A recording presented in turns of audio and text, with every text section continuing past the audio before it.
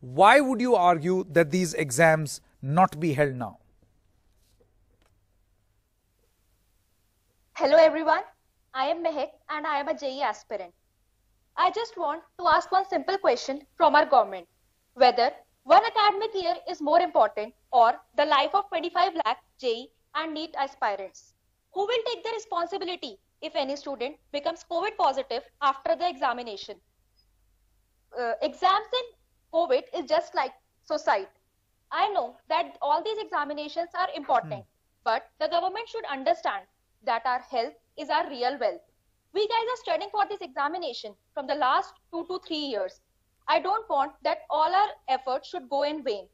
We, the government should understand that we are not asking for the cancellation of these examinations. Sure. We just want you want postponement of these exams. Correct. Thank you so much, yes. Mehak. Do stay on with us. Sparsh Singh is also with us. You are also a NEET aspirant. Sparsh, you've heard what Mehak had to say. Uh, would you concur? Would you agree with her assessment? Or do you think that exams must go on at this very point? I think the debate is not on whether exams should be held or not. The debate is whether the exam should be held now or later. Sparsh. Uh, I, I just, uh, I just think that if the government is uh, prepared or ready for the, you know, the uh, mass of the people that would be joining in the centers or around the centers, and uh, you know the uh, the preparations that they are doing what uh, what are the preparations that they are doing to safe safely conduct these exams. That's the more important aspect or the point that i'm searching here.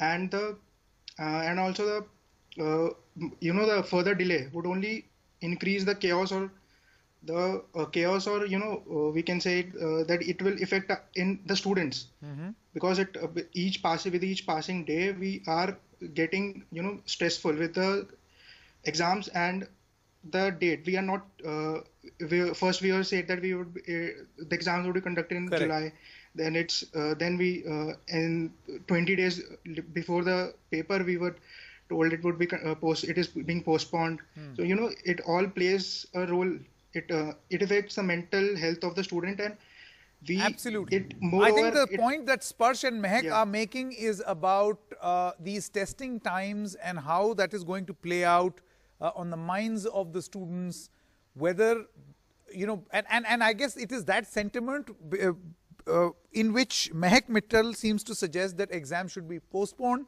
but a sparsh singh says that don't postpone the sentiment is the same that there is tension there is confusion so while Sparsh says go ahead, Mehak says no, this is not the correct time.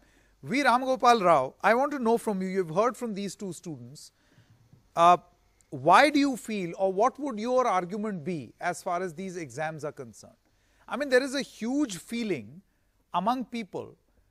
I mean, say for instance, if there was there was a family, there's a person who's who's concerned, you have you have the home minister of the country who tested COVID positive, superstar Amitabh Bachchan tested positive. Where is the guarantee that these students will not test positive when they go to a center like this? After all, we are talking about a congregation. I think that's a valid point. I am neither arguing for conducting the tests now or for postponing anything. I think we we need to be you know analyzing this in the in the light of what is happening. And uh, you know I am speaking more on behalf of the JEE advanced examination which is going to happen on September 27th. And uh, from our point of view, we are completely prepared. And I would expect that even NTA, which is going to conduct the JEE mains as well as the NEET exam, I think I am sure they are also very well prepared. And there is a lot of work happening at the highest levels in the government. They are consulting the health ministry very closely. The AIIMS doctors, the NITI Aayog member, education, all of them are involved in these discussions. I don't think you know everybody is responsible, everybody is concerned, but lockdown is not a solution for anything.